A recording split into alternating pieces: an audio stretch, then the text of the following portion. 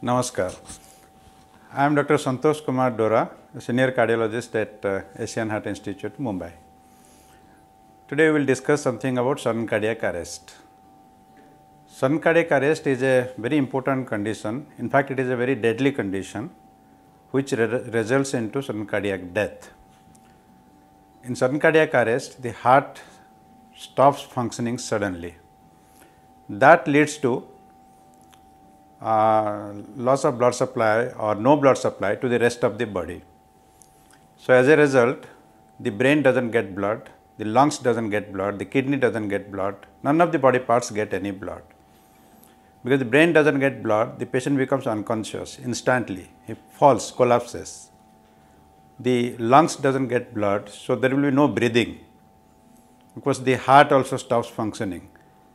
So, when a person just collapses suddenly, is unconscious and there is no breathing and there is no pulse or blood pressure, then uh, you should understand that the person has suffered sudden cardiac arrest. Now, sudden cardiac arrest, if something is not done immediately within the next few seconds, the patient practically dies. So, what uh, to be done, of course, we will be discussing later on, but uh, immediately the cardiopulmonary resuscitation should start till the shock therapy arrives. Shock therapy is defibrillation. Now, uh, why, why sudden cardiac arrest is happening? What are the main cause of this? The most important cause is heart attack.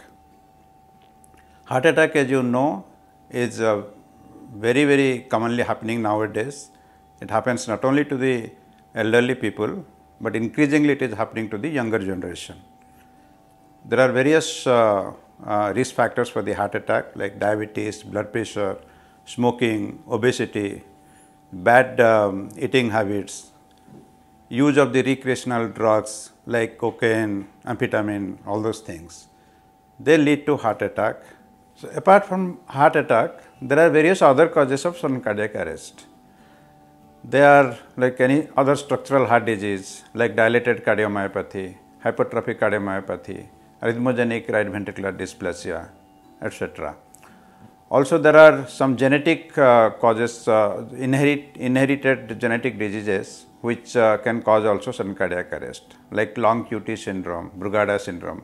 In these cases, structurally the heart may be normal, but there are electrical disturbances which are inherited.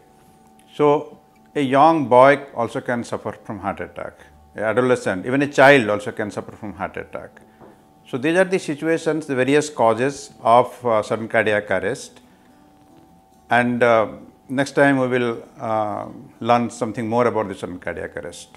Thank you.